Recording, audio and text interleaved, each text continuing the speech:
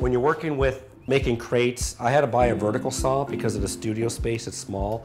So this way I could take a piece of plywood, measure it up, and do quick cuts. Um, not the most accurate way to do it this way, but I find that it works well. So this is an example of a box I'd make for a 30 by 30 inch sculpture.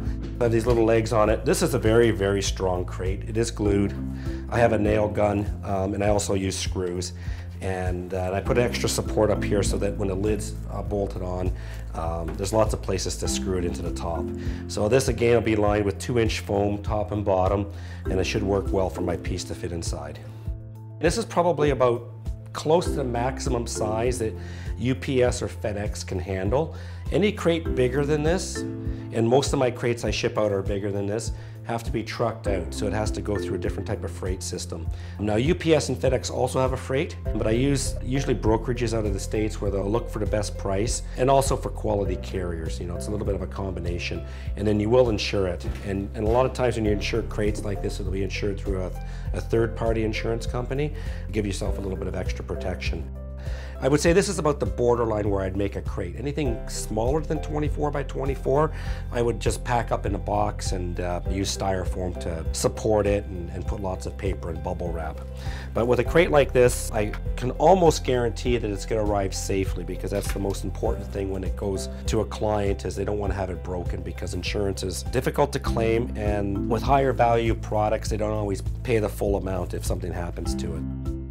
Basically what I do is I buy foam products, usually two inch foam in larger sheets, and I cut it down to fit the crate exactly.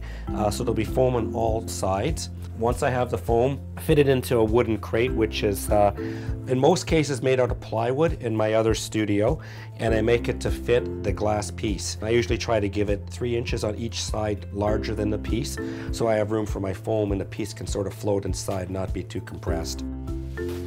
This is just typical large bubbles, and I'll put a, a little bit around the, uh, the glass piece. Now this isn't going to really protect it too much, it's just going to give it some extra filling in the box. The real protection of this is the fact that there's two inches of really good foam that's around it, and the fact that it's in a wooden crate that can't be compressed. And you could use a box for this. The problem is it's going to be a large box. The larger the box means it's going to be on the bottom of the truck. And they're going to pile all these other boxes on top of it. Once the box compresses, you could break glass. Now this is a very thick bowl, it's pretty strong.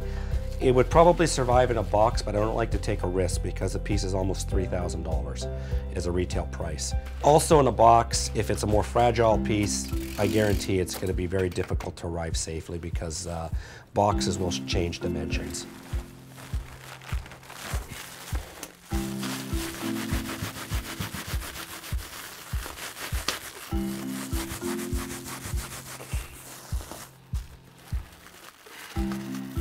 I have to do this. If I don't feel that it's quite right, take it out, redo it. I've done it before where I think it should be fine and you ship it anyways. It breaks your heart because of, it's not just the value, it's the fact that it's a one-of-a-kind piece that you made for a client that is, is beautiful that can get destroyed, right? So, so I think this is just sticking too much with that. So what I'm gonna do is I'm just going to uh, wrap it a little bit differently and then put some paper in the bottom part here.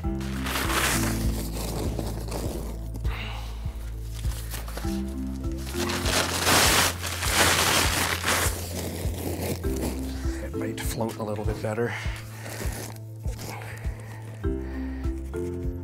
Yep. And that way you can put paper around all the edges of it so it's cushioned in there really nicely. It's always nice to send Canadian newspapers to the States so you can read about our politics. Because they'll never hear about Canadian politics on an American newspaper. now, just put of foam there. and then uh, the paperwork just gets put in. Unfortunately, with fragile and crate up and placed this way, they don't read labels on crates other than the shipping documents. They don't care if it's fragile, they don't even notice it. Most of these things will end up on conveyor systems and be handled quite a bit.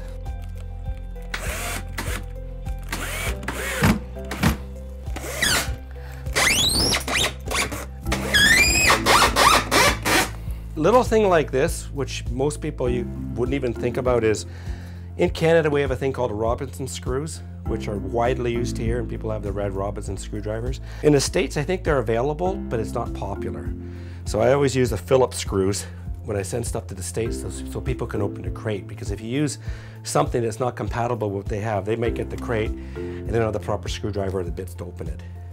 So you have to kind of look at where you're shipping it to and make sure that what you're sending is compatible. Same with electrical. If you send something that's artistic, that plugs into a wall because there's lights on it, you kind of have to check to make sure that you're approved for their country or that it has the proper plugs and, and electricity requirements as well.